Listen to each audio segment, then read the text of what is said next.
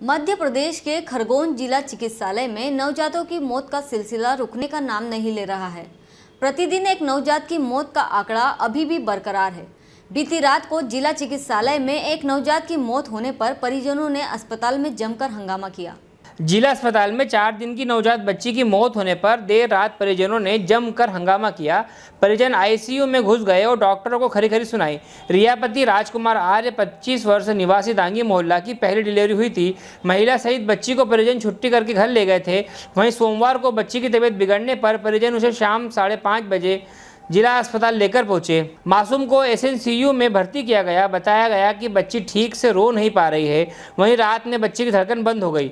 इसके बाद परिजनों ने अस्पताल में हंगामा करते हुए स्टॉप पर इलाज में लापरवाही बरतने का आरोप लगाते हुए बच्ची की मौत के लिए जिम्मेदार ठहराया H W twenty four news ने पहले भी कई बार ये मामला उठाया था, पर हॉस्पिटल प्रबंधन के कान पर जू तक नहीं रेंग रही और प्रतिदिन एक नवजात बच्चे की मृत्यु का आंकड़ा भी सामने आया है। हंगामे की सूचना मिलने पर कोतवाली टीआई ललित सिंह डांगूर अस्पताल पहुँचे और परिजनों से घटना के संबंध में चर्चा की। इस दौरान पीड़ित महिला ने लिखित में पुलिस को शिकायत आवेदन सौंपा है। खरगोन से अजय तिवारी रिपोर्ट।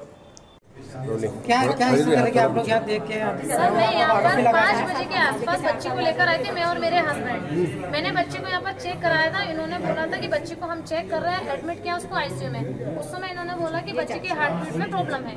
उन्होंने आईसीयू में उसको शिफ्ट किया ऑक्सीजन लगा दी। जो सात बजे मेरे डॉक्टर से फाइनली बात हुई तो उन्होंने मेरे को ये बोला कि बच्ची की हार्ट बीट नॉर्मल है। अभी दस बजे जो डॉक्टर आएँगे वो आगे इंप्रूवमेंट हुआ है कि नहीं वो आपको बताएँगे उसके बाद में आपको इंदौर ले जाना पड़ेगा। मैंने इनको क्लियर पूछा था कि सर अभी क्या कंडीशन है? उन्होंने सिर्फ़ मुझे ये बोला था सिर्फ़ कैल्शियम की कमी है दो इंजेक्शन लगाएँगे सही हो जाएगी बच्ची। उसके बाद इंदौर ले जाने का है या उसको तुरंत में इन्होंने मेरे से कुछ भी नहीं बोला। इंजेक्शन लगा सर आईसीयू में इंजेक्शन लगे नहीं लगे वो डॉक्टर के ऊपर है वो उन्होंने लगाया कि नहीं लगा क्योंकि उन्होंने आईसीयू में नहीं बच्चे को भी देखा क्या लगता कुछ उसे इंजेक्शन लगाए या दवाई दी।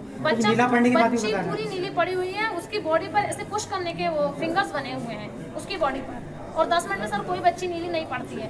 बच्ची के साथ कुछ पहले हो चुका है जब केस बिगड़ गया तब इन डॉक्टर्स ने बोला कि हमारे हाथ में केस क्या चाहते हैं आप लोग? पुलिस भी आई आप हंगामा भी कर हमको सिर्फ़ इंसाफ चाहिए। और ऐसे डॉक्टर जो अपनी ड्यूटी गवर्नमेंट का फ़ायदा उठाकर इस तरीके का काम कर रहे हैं उनको आप बिल्कुल जॉब से अलग कर दीजिए। क्या नाम लिखते हैं?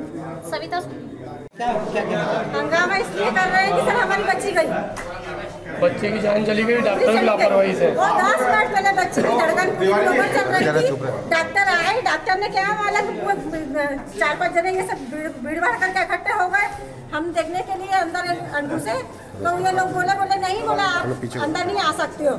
और दस मिनट बाद में बच्ची की धड़कन बंद हो गई, दस मिनट में भी उसके बाद में बोल रही है लोग कि हमने बोला बोले कि आप इंदौर ले जाओ। ये नहीं बोला। इंदौर हमको बोला ही नहीं। अरे अपन नोट भी नहीं दिया आपने तो। क्यों नहीं बोला हमको इंदौर ले जाओ? क्या स्थिति काफ़ी खराब लग रही थी बच्चे की आए थे नहीं जब ला दिया तो सोचता थी।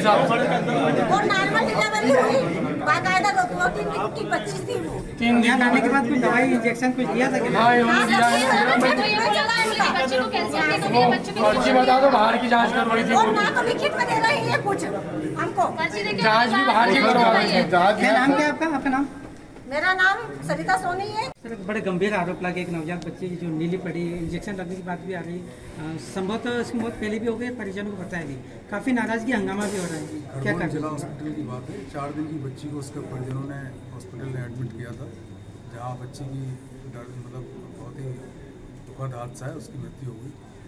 बच्चे के परिजन चाह रहे हैं कि उसकी जाँच हो। हम लोग उसका बच्ची का पूरा परीक्षण करा रहे हैं। मर्ग जाँच में लेके जो भी इसके लिए दोषी होंगे उनके खिलाफ कार्रवाई की क्या लगता है आपने देखा बच्चे को जब अंदर जाके देखा क्या हालत लगी मेडिकली मैं उतना नहीं समझ पाऊँगा लेकिन मैं उसकी पूरी जाँच करा रहा हूँ।